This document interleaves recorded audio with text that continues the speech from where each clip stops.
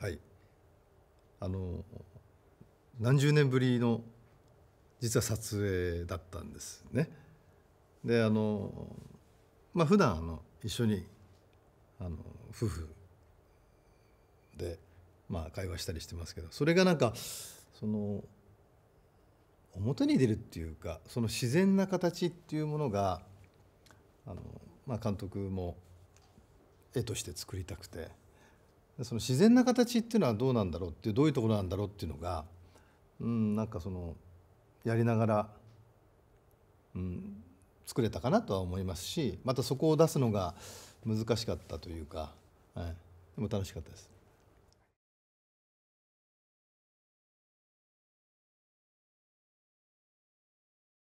見どころですね。そうですね。やっぱりまああの男性のその美容というものっていうのがあのこれからどんどん目が向けられたらなっていうところでもありながらもまあ今回の設定があの妻が用意してくれたこのアルテミウンだったりとかするんですけどもそれを使う。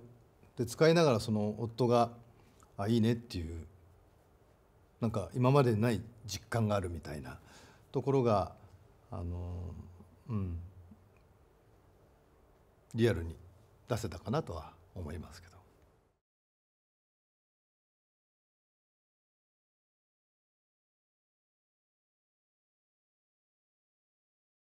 そうですねあの、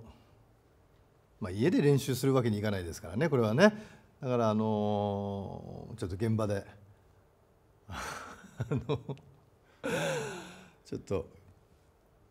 まあちょっとぶつけ本番的な感じでやったんですけどなかなかうんなかなか最初はあのちょちょっと変な緊張もしたんですけどもねでもすごく楽しかったです。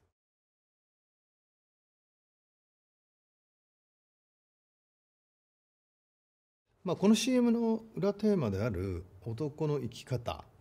またはその生き様というものがまあそのうん顔に出たりとか肌に出たりとかそのその人のその質感だったりとか、まあ、もちろん色だったりとか、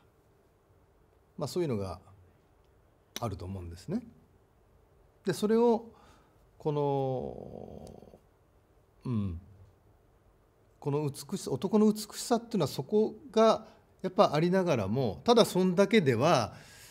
うん、綺麗じゃないなっていうそのこういったアルティミューンとかこういった美容液だったりとかを塗りながらそれを少し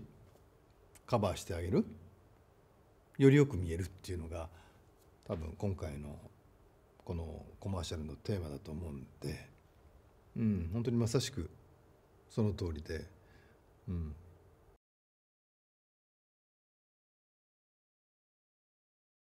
個人的な好みですけども